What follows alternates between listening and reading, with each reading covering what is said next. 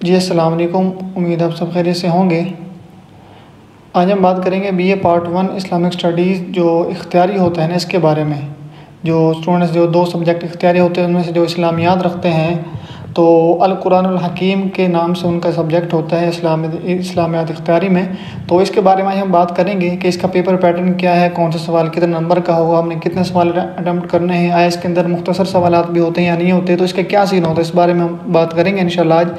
तो जहाँ पे एक हम पेपर की तैयारी करते हैं तो जस्ट तैयारी करना काफ़ी नहीं होता बल्कि उस पेपर का पेपर पैटर्न देखना उसके सिलेबस के बारे में पता होना और अब याद तो कर लिया लेकिन उसके बारे में जो पे, पेपर पैटर्न है वो कैसे होता है और पेपर में उसको लिखना कैसे इस इन चीज़ों के बारे में पता होना बहुत ज़्यादा ज़रूरी है।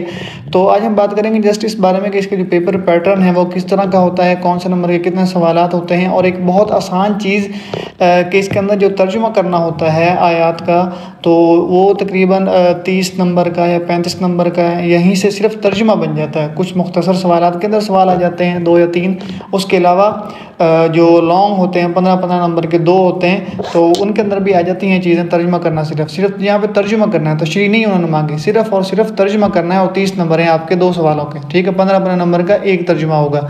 इसके साथ साथ जो आसान आसान टॉपिक्स हैं, उन पर अब हमने जब तर्जुमा तो कर लिया, उसके बाद जो बकरा सूरत नूर के अंदर से जो कोई ना कोई एक अहकाम वाली आयात के अंदर से वो मसाइल भी पूछते हैं, जैसे इद्दत, रज़ात तलाक़ के बारे में, पर्दा के हकाम और इन चीज़ों के बारे में जो सवाल करते हैं, इनको समझने में बहुत ज़्यादा ज़रूरी है। तो आज हम जस्ट देखेंगे पेपर पैटर्न को, पास्ट पेपर कुछ हैं, इनको देखेंगे। ये 2000 जो है ना इक्कीस और बाईस के पेपर हैं।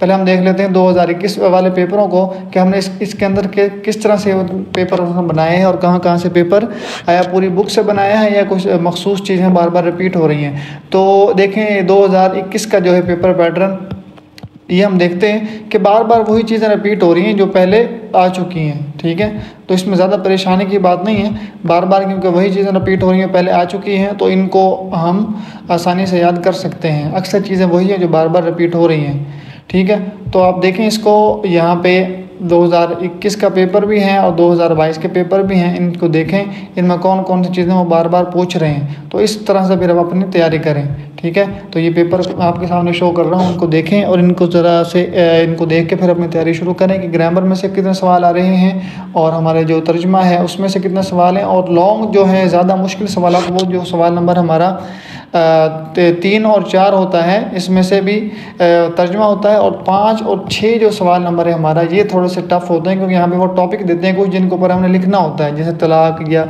इद्दत इनफाक फ़ी सबी अहकाम अहकाम, जो पर्दा के अहकाम वगैरह, यहाँ पर अहकाम के मुतल क्योंकि सवाल आते हैं तो इनमें जो सबसे मुश्किल सवाल होते हैं वो सवाल नंबर पाँच और छः, यहाँ पर कुछ मुश्किल टॉपिक आते हैं, बाकी पेपर आपका सारा ईजी होता है।